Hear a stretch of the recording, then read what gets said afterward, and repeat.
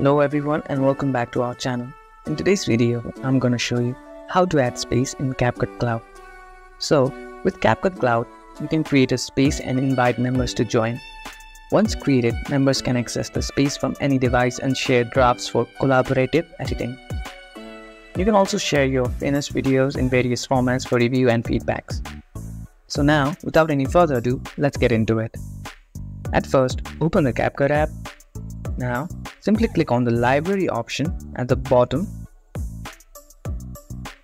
Now here, you can see different options like spaces, favorite, media, etc. You can simply click on view all option beside space right here.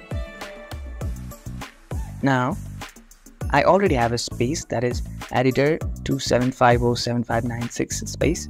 I can also create a new space by simply clicking on that plus icon at the top right corner. Now, create a new space, simply click on create space. Now you can rename your space name. For now, I'll leave it as it is. Simply click on create and invite.